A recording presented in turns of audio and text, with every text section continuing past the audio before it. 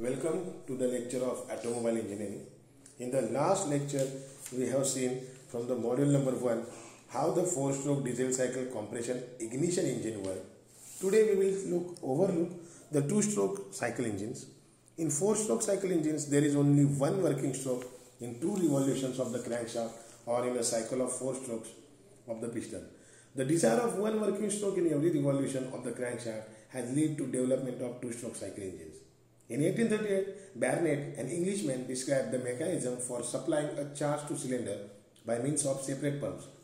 In 1878, Douglas Clerk also made a lot of contribution in this direction and described a two-stroke cycle known as Clerk cycle.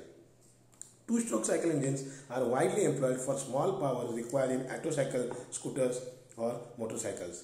In two-stroke cycle engines, the suction and exhaust strokes are eliminated there are only two remaining strokes, the compression stroke and power stroke, and these are usually called upward stroke and downward stroke respectively. Also, instead of valves, there are inlet and exhaust ports in two-stroke cycle engines. The burnt gases are forced out through the exhaust port by fresh charge which enters the cylinder nearly at the end of the working stroke through the inlet port. Two-stroke cycle spark ignition engine. Now the principle of two-stroke cycle spark ignition engine is the spark plugs, piston, trans, connecting rod and crankcases with balancing weight crankshaft, air-fuel mixture, inlet port, exhaust port cylinder are the components of the diagram. In the upward stroke, the piston moves upward from bottom dead center to top dead centers, compressing the charge air petrol mixture in combustion chamber of the cylinder. Due to upward movement of the piston, a partial vacuum is created in the crankcase and a new charge is drawn into the crankcase to the uncovered inlet port. The exhaust port and transfer port are covered when the piston is at top dead center position. The compressed charge is ignited in the combustion chamber by a spark given by spark plug. In downward stroke, as soon as the charge is ignited, the hot gas compresses the piston which moves downward, rotating the crankshaft, thus doing the useful work. During this stroke, the inlet port is covered by the piston and a new charge is compressed in the crankcase. Further, Downward movement of the piston uncovers first the exhaust port and then the transfer port and hence the exhaust starts to the exhaust port. As soon as the transfer port opens, the charge through it is forced into the cylinder. The charge strikes the deflector on the piston crown, rises to the top of the cylinder and pushes out most of the exhaust gases. The piston is now at bottom dead center position. The cylinder is completely filled with the fresh charge although it is somewhat diluted with the exhaust gases. The cycle of events is then repeated, the piston making two strokes for each revolution of the crankshaft. When we consider port timing diagram that is PTD for two stroke cycle engine that gives different angle calculations where IPO is inlet port opens, IPC is inlet port closes, EPO is exhaust port opens, exhaust EPC that is exhaust port closes, TPO that is transfer port opens and TPC transfer port closes. Now, when we consider two-stroke cycle compression ignition, that is diesel engine, only air is compressed inside the cylinder and the fuel is injected by an injector fitted in the head of the cylinder. There is no spark plug in this engine. The remaining operations of the two-stroke cycle compression ignition engine are exactly the same as those of the spark ignition engine. When we consider advantages of two-stroke cycle engine over four-stroke cycle engine, the two-stroke cycle engine gives one working stroke for each revolution of the crankshaft. The four-stroke cycle engine gives one working stroke for every two revolutions of the crankshaft. Hence, theoretically, the power developed by two-stroke cycle engine is twice that developed by four-stroke cycle engine for the same engine speed and cylinder volume. The turning moment on the crankshaft is more even in two-stroke cycle engine due to one working stroke for each revolution of the crankshaft and so a lighter flywheel is required in it. For the same power, a two-stroke cycle engine is more compact, light and requires less space than a four-stroke cycle engine. Therefore, it is more suited for autocycles, motorcycles and scooters. A two-stroke cycle engine is simpler in construction and mechanism.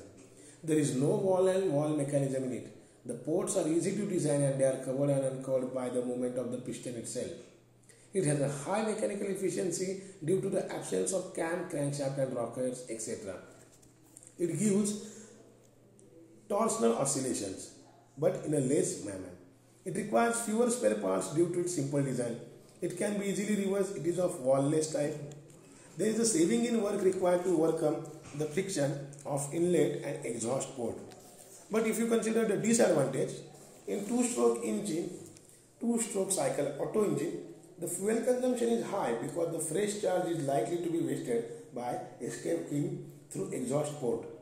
The actual compression starts when the ports are completely closed by the upward movement of the piston after a few degrees of revolution of the crankshaft.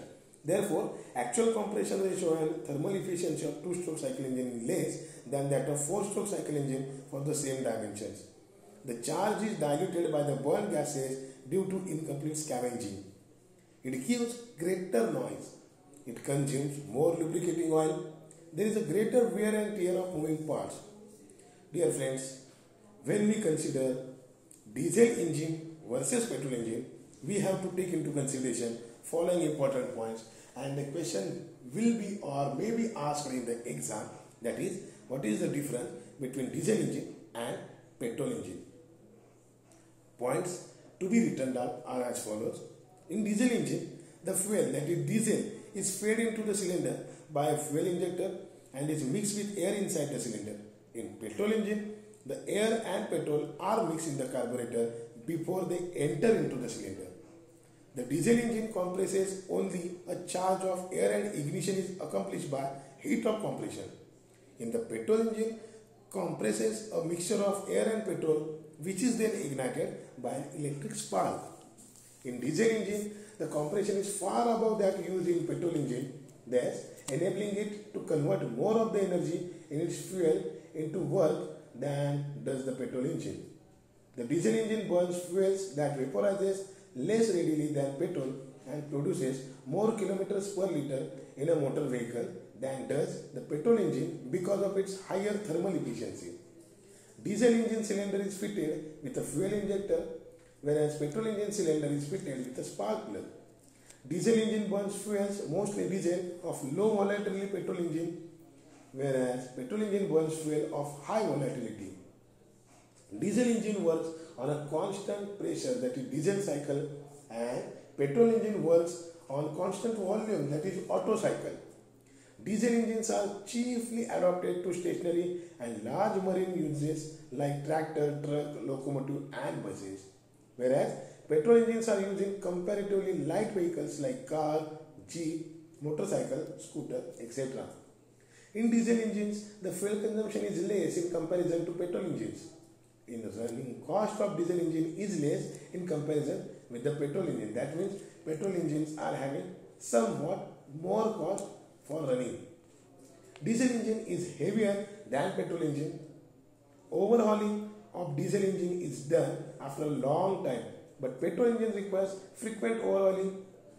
The advantages of diesel engine in comparison to petrol engine are its higher weight to horsepower ratio, greater starting difficulties, higher initial cost and higher maintenance cost. So we have covered difference between diesel engine and petrol engine.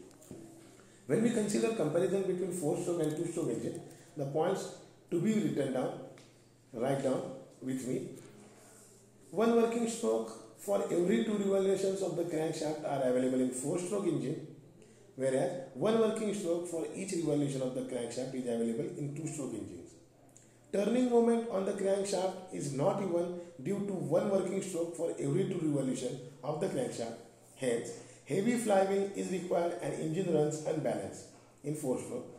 Whereas turning moment on the crankshaft is more even due to one working stroke for each revolution of the crankshaft. Hence, lighter flywheel is required and engine runs balanced. Now 4 stroke engine is heavy whereas 2 stroke engine is light in weight. In 4 stroke engine, the design is complicated whereas in 2 stroke, the engine design is simple. Now you must understand I will read first point for 4 stroke and second point for 2 stroke. 4 stroke is more costlier, 2 stroke is less costlier. 4 stroke has less mechanical efficiency due to more friction on many parts. 2 stroke is more mechanically efficient due to less friction on few parts. 4 stroke is having more output due to full-fledged charge intake and full burn gases exhaust. Whereas 2 stroke is having less output due to mixing of fresh charge with the burn gases. 4 stroke is having engine when four-stroke engine runs cooler and two-stroke engine runs hotter. Four-stroke engine is water-cooled whereas two-stroke engine is air-cooled. Less fuel consumption and full burning of fuel happens in four-stroke. More fuel consumption and fresh charges mixed with exhaust gases in two-stroke. Four-stroke engine requires more space, two-stroke engine requires less space. It is a complicated lubricating system in four-stroke, simple lubricating system in two-stroke. Engine creates less noise in four-stroke, whereas engine creates more noise in two-stroke. Four-stroke is used in cars, buses and trucks, whereas two-stroke is used in mopeds, scooters and motorcycles. Four-stroke engine consists of inlet and exhaust valves. Two-stroke engine consists of inlet and exhaust ports. Four-stroke engine has more thermal efficiency. Two-stroke is having less thermal efficiency. Four-stroke engine consumes less lubricating oil. Two-stroke engine consumes more lubricating oil. Four-stroke engine has less wear and tear of moving parts, whereas two-stroke engine is having greater wear and tear of moving parts. Dear friends, with this video, we have completed engine operations that takes place in automobile engineering. In the next part, we will think and we will discuss engine construction. Till then, study hard. Thank you.